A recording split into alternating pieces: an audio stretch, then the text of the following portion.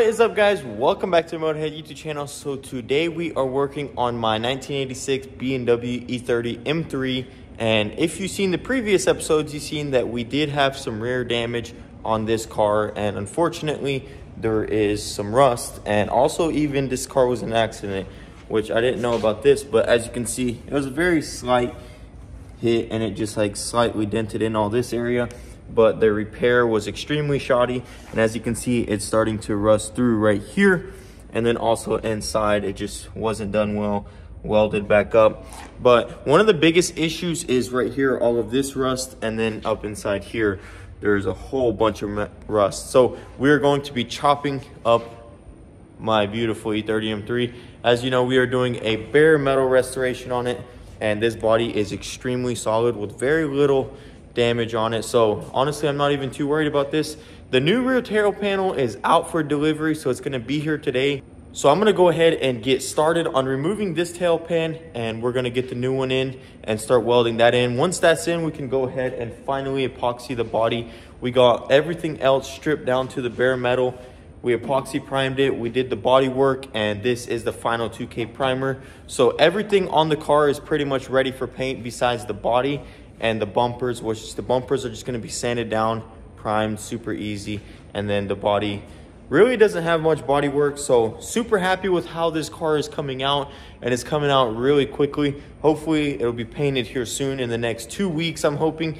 That means we gotta get this panel replaced and finish up this body, get it ready for epoxy primer, and then we can go ahead and straighten it out. I want this thing to be perfect. That way, once you look down it, it's complete glass just like our 1967 Ford Mustang restoration we've been doing. If you want to see that, I'll link that down below. So let's go ahead and get right into it. We're to start tearing into this rear panel and getting it removed.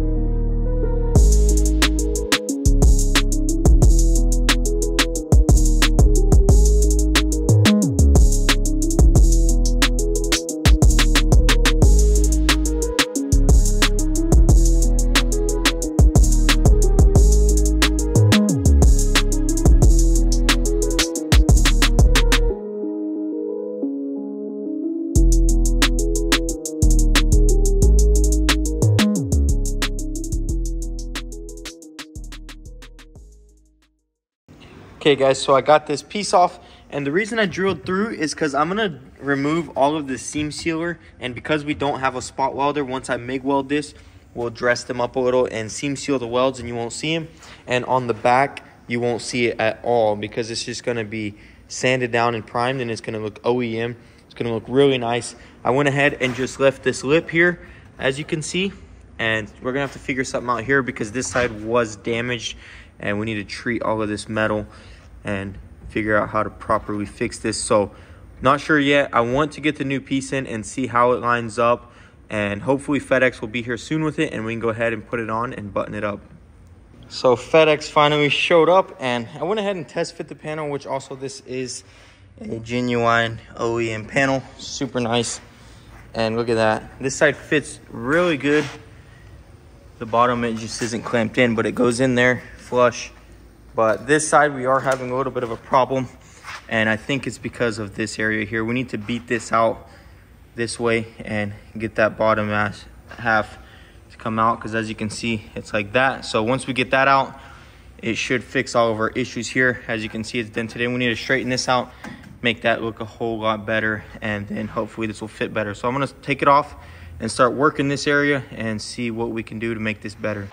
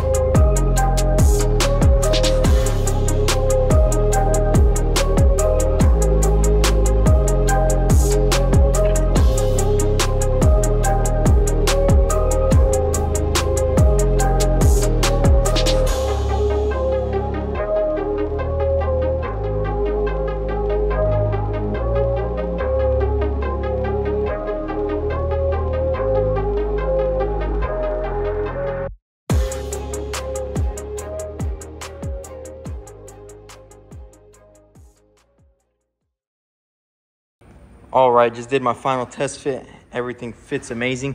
Guys, I'm gonna have to weld this up. I know originally there's supposed to be a seam here, which we could do, as you can see on this side, but this side is just so destroyed and it's all cracked up. So what I'm going to do is I'm gonna clean this out.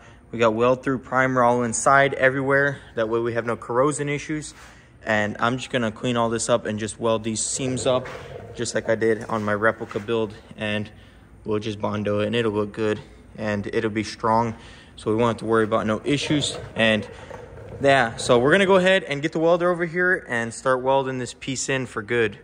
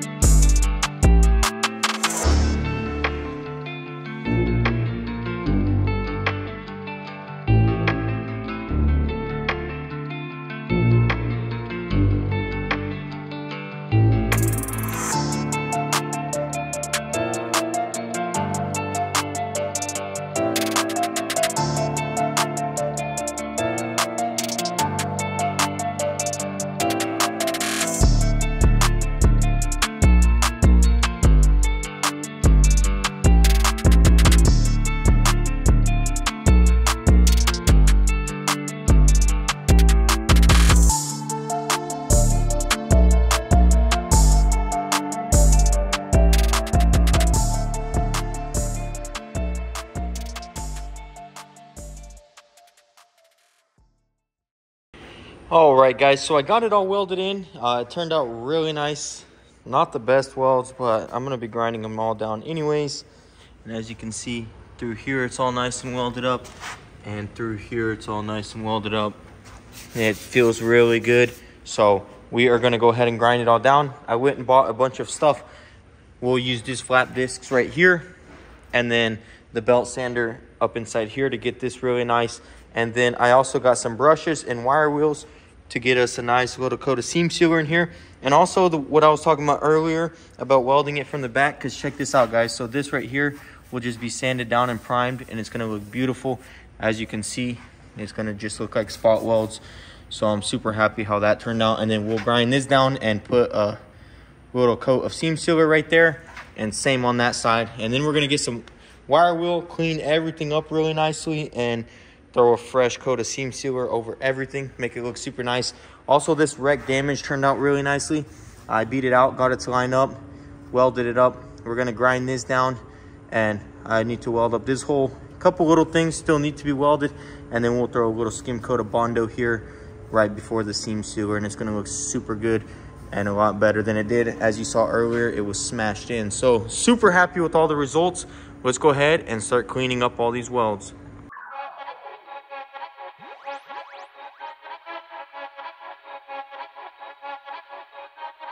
Thank you.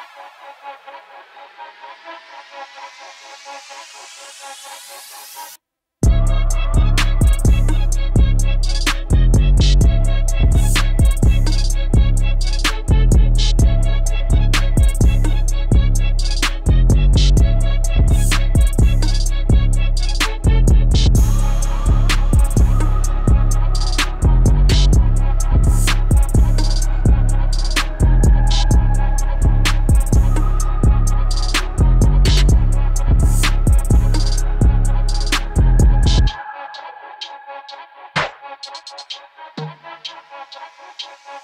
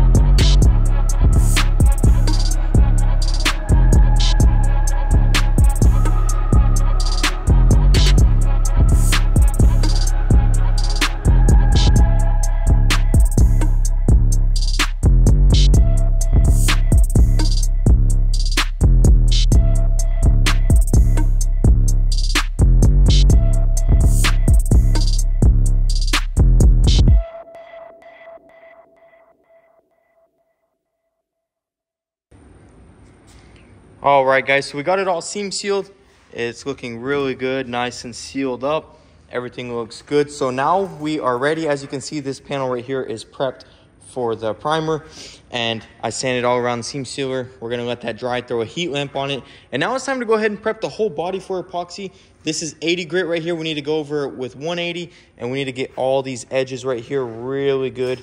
That way all of the primer adheres really nicely. So we're gonna go ahead and get started and get this thing prepped.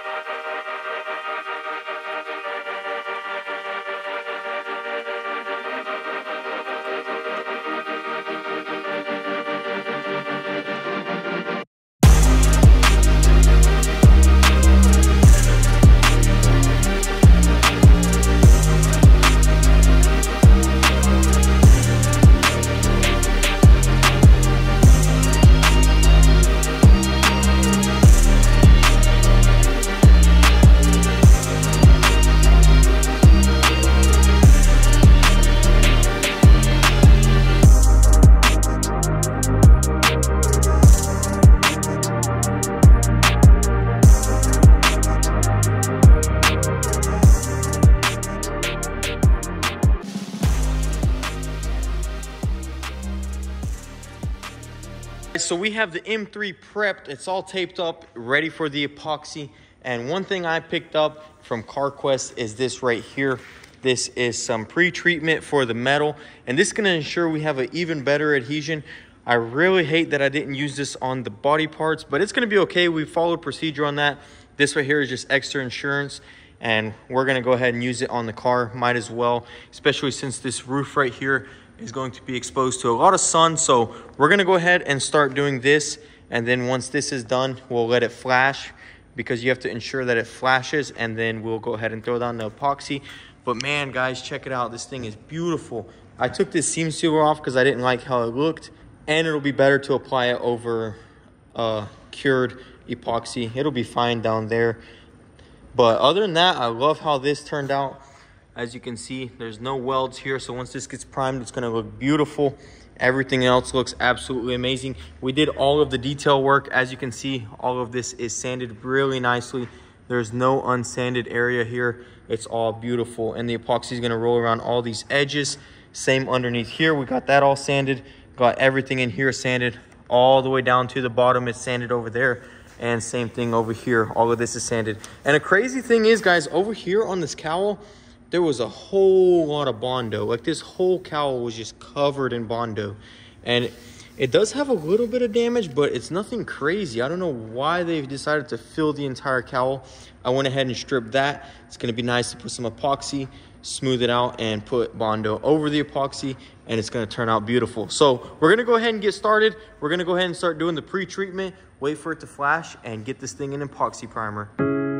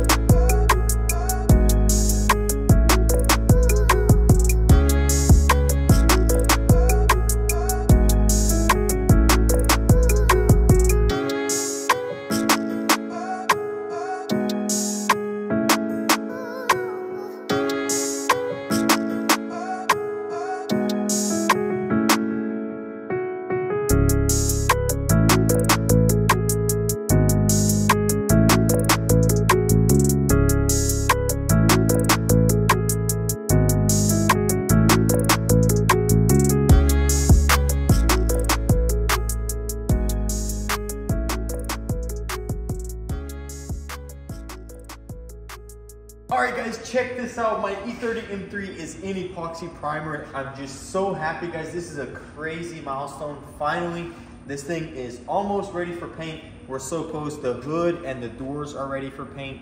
This, Victor's gonna straighten out all the dents. We're gonna put it in 2K primer and it's gonna be ready. But we're gonna give it time to cure. This thing's gonna need like at least four days minimum to sit and just fully cure out. That way, once we sand it, it's good. Just like when we did the bodywork on the doors, we gave the primer plenty of time to dry. We gave the Bondo a complete day to dry because we want this to be done right and we want it to last. I don't want no shrinking in the future.